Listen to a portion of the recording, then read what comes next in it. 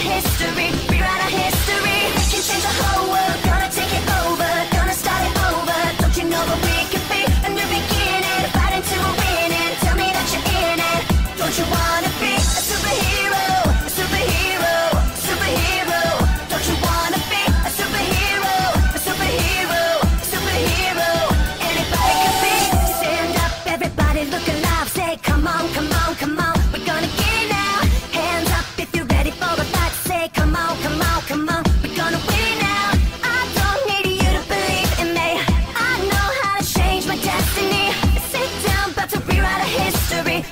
history, rewrite our history. We can change the whole.